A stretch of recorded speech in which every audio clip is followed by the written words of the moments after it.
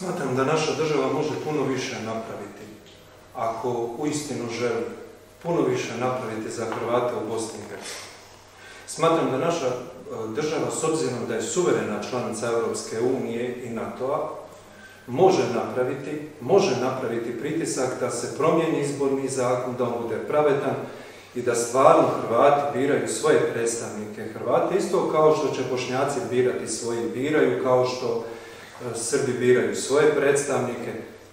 Hrvatska to može napraviti. Nažalost, u ovom trenutku još uvijek se Hrvatska ponaša kao nekakva pristupna članica, ne kao suverena članica Europske unije, ne koristi sve alate koji su joj na raspolaganju, ne koristi niti svoj ugled, niti sve ono što je napravila da bi se to ostvarilo.